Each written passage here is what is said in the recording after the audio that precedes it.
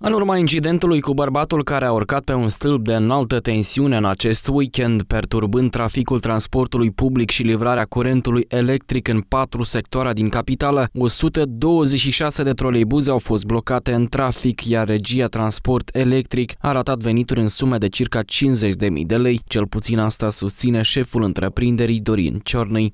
Serviciul rețele electrice din cadrul regiei Transport Electric în mod de urgență a făcut posibil reconectarea acestor substații de la substațiile vecine, dar substația de tracțiune din uh, strada Ceucare, uh, sectorul Roșcani, uh, nu a fost conectată din motive de siguranță ca să nu supra încarce rețeaua de contact.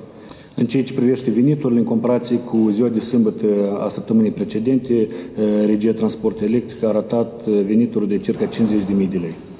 Amintim, sâmbătă un bărbat în vârstă de 33 de ani a urcat pe un stâlp de înaltă tensiune din motive neclare și a provocat o pană de curent care a blocat circulația trolei buzelor din zona centrală a Chișinăului și a afectat consumatorii de energie electrică din mai multe sectoare. După ce acesta a amenințat că se aruncă în gol, zeci de salvatori au depus eforturi pentru a-l readuce la sol timp de 8 ore. În cele din urmă, un vecin al său l-a convins să coboare cu ajutorul scării de pompieri. Bărbatul a coborât în stare conștientă, apoi a fost preluat de o echipă de medici și transportat la spital. În urma incidentului, 20.000 de consumatori din mai multe blocuri din sectorul Râșcani și Buiucani au rămas fără energie electrică.